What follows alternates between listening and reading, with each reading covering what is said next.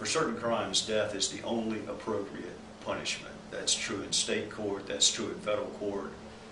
It should be true in military commissions as well. As the law is currently configured, uh, there's some ambiguity as to whether or not suspects, defendants can plead guilty in military co- commissions and receive society's ultimate punishment, uh, the death penalty.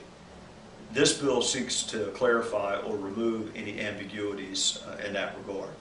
So when purported terrorists uh, seek to waive their right to a trial, as they can waive any other constitutional right, they should be exposed to the full panoply of punishments, just like they are in state court, just like they are in federal court.